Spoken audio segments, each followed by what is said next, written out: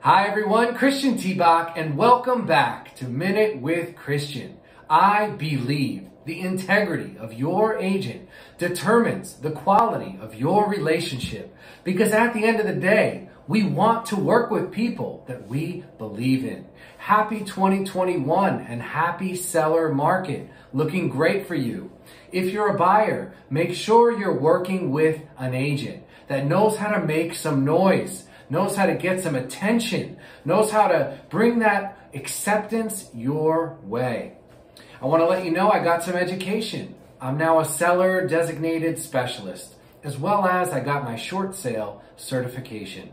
I will keep you informed with agent-led information as we move forward. All right? Enjoy the rest of your day and take care.